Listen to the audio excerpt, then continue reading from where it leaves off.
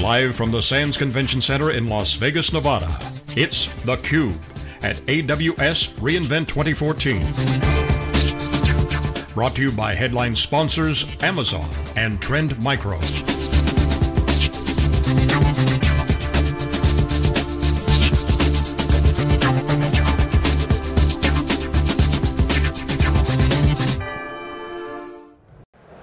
Okay, welcome back everyone. We are here live in Las Vegas for Amazon Web Services, AWS reInvent Conference. This is their, this is their big event every year. They have a lot of events all around the world, changing the game, creating the data center in the cloud. This is theCUBE, our flagship program. We go out to the events and extract a signal from the noise. I'm John Furrier. My next guest is CUBE alumni and great guy, uh, Mark Lewis, Chairman, CEO, uh, and co-founder of Formation Data Systems. Um, you along with Andy Jenks, um, entrepreneurs, former um, head of EMC Ventures, which built from scratch. You built that whole Silicon Valley ecosystem out as part of EMC and did a lot of great investments. One of them was roping in VMware, among other things. Um, legend in the uh, industry, entrepreneur. Uh, wait a minute, you're not under well, 30. Thanks, John. You're, yeah, you're not under 30. You That's right, I'm an old guy. I'm an old guy. Wait a minute, you shouldn't be doing startups. oh, it's enterprise, it's okay. Welcome back. It's fun. I, I did all my big companies, I guess, when I was young, and I had to, I had now I wanted my chance to do a startup. So, having a great if time. If you're over 40, join the 40 club that I'm putting together. Go to at Furrier. All entrepreneurs over 40 get in for free. Not that we haven't done anything yet, but you're in. So tell us about formation. So Andy has always been stealth. Give us the update. You came out of stealth. You've kind of launched. You had a lot of not mega funding, but very Illumio-like. You know, sizable investors good quality. Give us the update. Yeah, so um, you know this is this is a great event to, to come and witness because at Formation we're trying to do something we think is very different in the storage industry, and that is to, to build what we call a converged data platform. If you look at all of the, the issues you have today with storage, it's not that we have bad storage or anything, it's just that we have so much of it, and we have so many ways to store data. And if you even look here at AWS, they talk about having to have a common data access layer, and that being necessary to interact with all these different databases and whatnot. And so what we want to build is a hybrid cloud data access layer. One that can converge your data platforms such that you can have a single data management environment that can bridge your private cloud environments and even your public cloud environments in Amazon or Azure and, and give you a consistent way to manage data. And other approaches right now are, are talking about gateways and movement and individual silos of information. And we think that's making the problem worse. So I want you to really step back and, and give me the motivation because you saw the converged infrastructure stuff happening. So, you know, Stu and I, always Stu Miniman, uh, co-host of theCUBE, and Dave Vellante, Wikibon, you know David yep. Floyer. Yep. All went on, we were first guys on this. Um, and certainly EMC saw that train coming. Whether they can get out of that way or not, or block was certainly in there. But there's a more dynamics to it. What motivated you to go with formation? Because a lot of other stuff that kind of is outside of storage is happening. Right, we, and it was interesting in storage because we looked at it, it was not about just converging infrastructure, but for storage it was doing it a different way what I saw in, in EMC and, and, and what was happening was we were, we were building point problems, you know, point solutions to solve problems. And I kind of call it like building my 10 car garage because every time I had a different need, I, I just bought another car. And, and after a while, your garage gets pretty big, you know, it starts getting kind of messy around the yard where you're, you're taking up too much space. And, that's storage, right? We have SANs and we have NAS and we have all flash arrays and we have gateways and we have scale out NAS and we've got object storage and we've got all these things. And, and they're all good, but, but in aggregate it's too expensive and it's too complicated. And if you look at all of the new players, I mean, Google's infrastructure, AWS infrastructure, they're built around more singular platforms, modern software-defined principles, and, and they run on top of bare metal hardware. And so that's what we did with Formation was start fresh and deliver the, that converged infrastructure. All right, so talk about why you're here. Are you guys open for business? You, you doing business? Are you in beta? I mean, you're building out? So we're here to get a sense of the, of the public-private cloud marriage in the hybrid cloud. We have alphas now out at, at three Fortune 100 companies, so we're talking to very large folks. And these are folks that probably aren't the early adopters in AWS, but these are the folks that realize that their current systems are an order of magnitude too costly. Well, and what do you mean by that?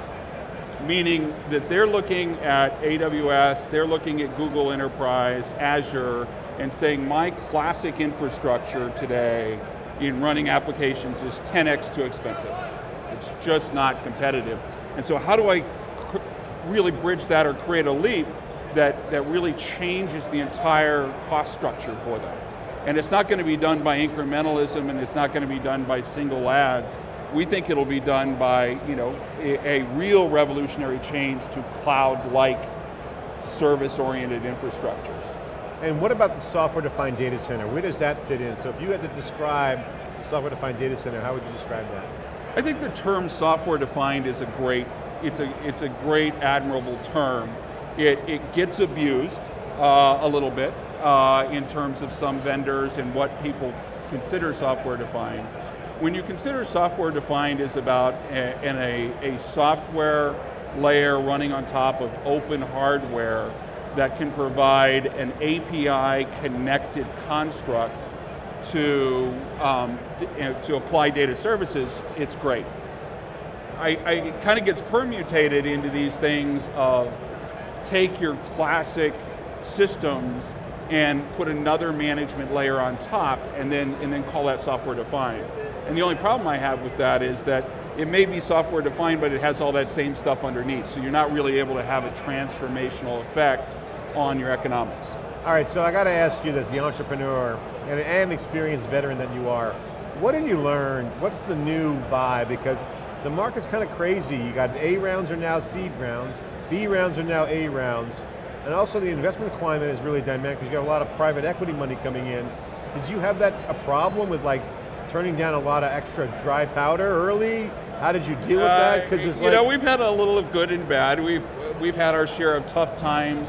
Um, I will tell you my one story I will say is we had we had a harder time in the beginning because I still believe Formation is doing something that none of the other uh, 100 or so storage startups are really trying to do. And that can be a bad thing because as you look for venture money, they like to say, oh, are you a flash company? Are you a scale out NAS company? Are you a VMware based company? You know, and they, they group you. And so we didn't have a group, and we still don't kind of have a group of what we call ourselves. What would you call it? We call ourselves a converged data platform. And the difference being, you have the Nutanix and the SimpliVities that are doing the hyper-converged approach, which I think is great, and I think it's going to be very successful. But they want to bring everything together. Compute, network, storage, into that single box. We're about converging the data platform. We're looking for the larger scale implementations where it doesn't really make sense to converge all three, but it makes sense to converge you, you, know, your block, your file, your object, your backup, your archive, and all of those various platforms together. So it's a real fabric play for you guys, right? So in a way you're... It's a real data management layer. It's, yeah. it's that data access layer, and we want to do that ubiquitously across AWS and Azure, so you can really run your applications and manage your data in a true hybrid cloud environment. And to make it really available, that's your key goal, right? Real time? And it's, it's, it's about having all the attributes of an array, all the attributes and reliability, but a data management and governance layer so you can say, okay, I can replicate this over to another site. I can make sure that data is backed up or copied. All right, how much did you guys raise? Give us the details. Can you share the numbers? Sure, sure, happy to. Uh, we've raised a little over 24 million, 24.2 million.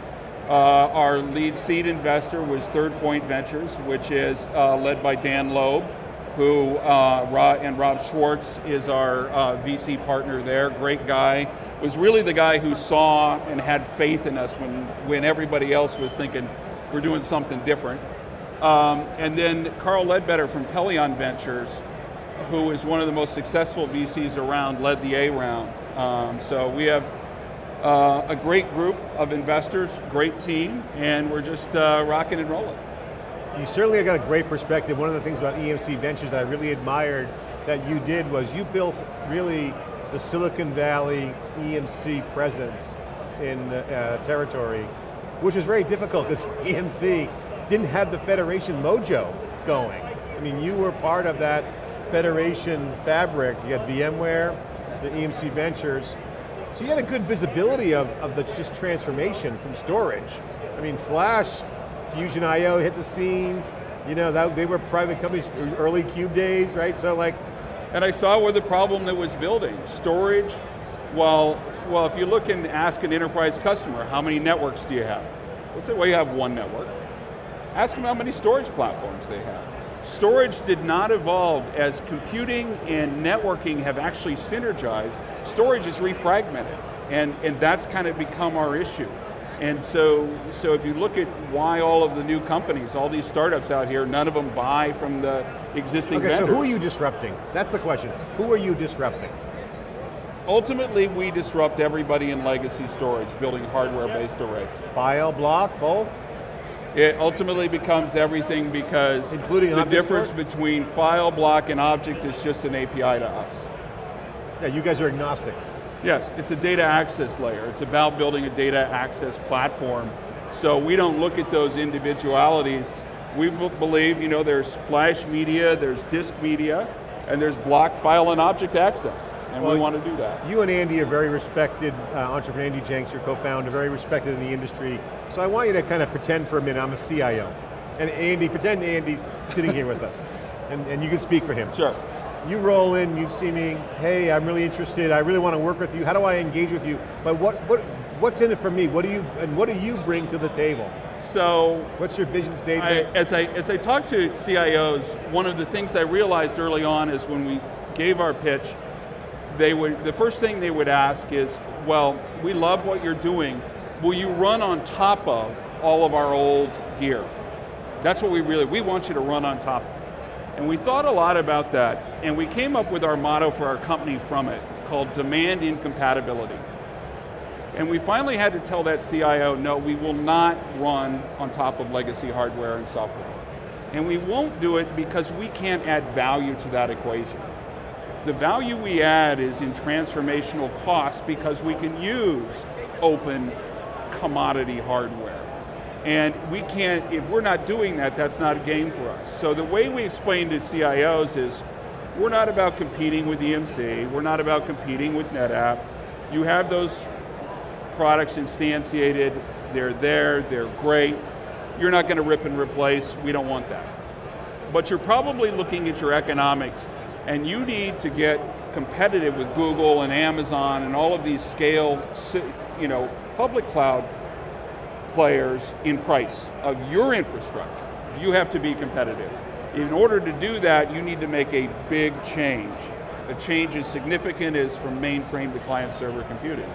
So if you want to go with us on that journey in building out a greenfield area or a new data center, that's where we want to partner. How much money's on the table? If you could quantify, I mean, don't give me, I don't need exact numbers, but like- $100 billion. I mean, it's a serious amount of cash serious up, cash. up for grabs right the now. The hardware, you know, your Forrester numbers, right? Hardware, software services, 2014 for storage, $100 billion.